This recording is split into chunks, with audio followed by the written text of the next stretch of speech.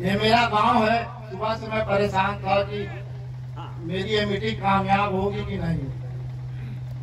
और मैं अपने गाँव और अपने क्षेत्र के लोगों को बता देना चाहता हूँ कि ये इलेक्शन गुलशन भाई का नहीं मेरा है।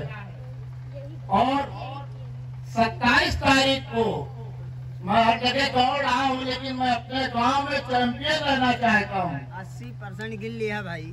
और ये हुजूम ये लोग, ये पूरी दास्तां हकीकी बता रहे हैं कि कुंडा का विधायक श्री गुलशन यादव बनने जा रहे हैं। सब लोग एक इरादा, एक वादा कीजिए सत्ताईस तारीख को ताजपुर, सरियावा, गंगापुर, शेरगढ़, अगिया, यहाँ से इतना वोट डाल देंगे कि साइकिल साइकिल की बटन ही दब जाए। हमारे 28 उनतीस साल से हमारे जो विधायक जी हैं, जो किए हैं सरियावा बहुत अच्छे तरीके से जानता है। चंद लोग हैं। आएगी आएगी, इंशाल्लाह आएगी। और गुंडा बहुत दूर नहीं है। यहाँ से गुंडा खत्म होता है, वहाँ से सरियावा शुरू है।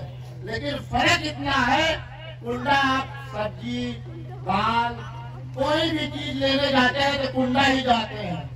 शाम अगर हो जाए तो देखिए, कोई खंबा ऐसा बाकी नहीं है जिसकी लाइट ना जल रही हो। कोई रोड ऐसी नहीं है जो कंप्लीट ना हो। कोई घर ऐसा नहीं है जहाँ पानी ना आता हो। तो काहे ना हम कुंडा वाली सुविधा अपने गाँव में भी लें, पूरे विधानसभा में भी लें। और इंशाल्लाह, मैं जितने करीब से गुलशन भाई को जानता हूँ, इनको एक चीज़ का तो नशा है, वो है काम का। ये खुद घूमेंगे, अगर कुछ गड़बड़ देखेंगे तो खुद ही करने को बोलेंगे। और अगर ये ना मिले, पहली बात तो मिलेंगे ही, इनके पास कोठी तो है नहीं। तो तो सरियाओं में रहते ही है। रास्ता पकड़ा सब लोग। है? देखा का रात दिन दौड़ा जाता है कैसा नहीं था। सरियावा इनका दूसरा घर है। इंशाल्लाह, जो हुजूम, जो आज मेरे गाँव, मेरे आसपास के लोगों ने इकट्ठा होकर दिखाया है, लग गया है कि 80 से पचासी परसेंट वोट यहाँ पे समाजवादी पार्टी को पढ़ने जा रहा है सब लोग हाथ उठा के कहिए गुलशन भाई गुलशन भाई अवलाद भाई अखिलेश यादव अब की मोहर कहाँ लगेगी अब की मोहर कहाँ लगेगी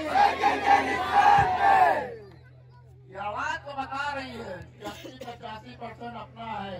दस बारह परसेंट ये सब लोग बांट लेना। अब की इनका सिखाई दिया। आपन वोट स्वयं दिया पोलिंग पे डराया ना। हज़ार के खुद लगाया। भाई गुलशन जी को भारी से भारी मतों से विजयी बना देगा दोस्तों। समाजवादी पार्टी की सरकार बनने जा रही है। सारा मामला रफा दफ़ा हो जाएगा। चिंता की कोई बात नहीं है। कांटे गुल के साथ नहीं चल सकते हैं। कांटे नहीं चल सकते हैं। बुजदिल खुलकर साथ नहीं चल सकते हैं। रास्ते में जो छोड़ गया, उसे जाने दो। सब गुलशन के साथ नहीं चल सकते हैं। जो उत्साह जो प्यार, जो मोहब्बत देखने को मिल रहा है, यकीनन, ये लग रहा है कि कुंडा के लोग बदलाव चाहते हैं और बदलाव लाने के मूड में हैं। तो मेरे नौजवान साथी, मेरे बुज़ुर्गों, मेरी माताओं और मेरी बहनों, मैं आपसे सिर्फ़ एक बात कहने आया हूँ कि ये कुंडा का जो इतिहास लिखा जा रहा है, आप लोग जब इतिहास लिखा जाए तो कहीं आप लोगों का उसमें नाम न छूटने पाए। इसलिए एक एक लोगों की ज़िम्मेदारी है कि साइकिल पर बटन दबाकर गुलशन यादव जी को यहाँ से विधायक बना करके भेजना और अखिलेश यादव जी को मुख्यमंत्री बनाने का काम करना।